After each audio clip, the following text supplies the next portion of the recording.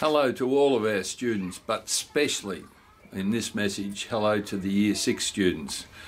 We're really disappointed that you're not coming back to school in the first round of people coming back to school um, because you've missed out on just so much this year.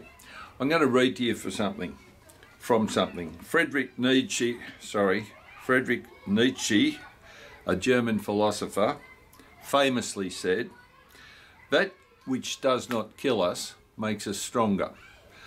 Now we know that COVID-19 doesn't kill children.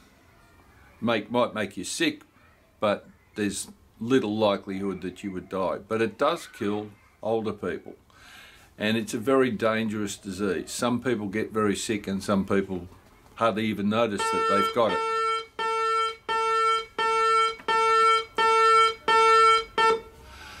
So for the year six students this year, you've missed out on a lot of school, on a lot of fun things. Harmony Day was just one thing, the gala days, the excursions you might have had, the incursions you might have had, the, uh, the camp that you missed out on, even school photos. So we're thinking that we should do something special just for the year six children because the years prep one, two, three, four, and five will be still here next year, and we can catch up and make sure that we make up for the lost opportunities from this year. But for the year six students, mightn't be so easy. So what we're going to do is we're going to try to have a yearbook. We're going to offer you the chance to write up to 100 words about something that's been good for you this year and the things that you've missed in 2020. It's been a lost year in some ways. We'd like you to put a photograph of yourself during 2020 at your current age and if you can find an older one that we can put in. So we've got a bit of a format. I'll just show you here. Um, we'll have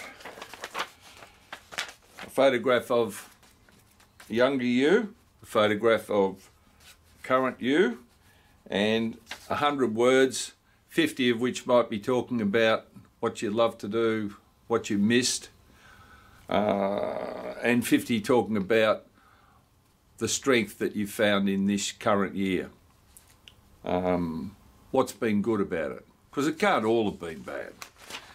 And then we're going to ask different uh, staff members perhaps to write some articles we'll make up a, uh, a yearbook that you'll be able to take with you and keep for so that you will have future memories you can look back on. I hope, and I'm going to send out a letter, this letter, an open letter to you via email through your teachers, and that will explain a little bit more what this uh, special yearbook is about. We look forward to seeing you at some time this year.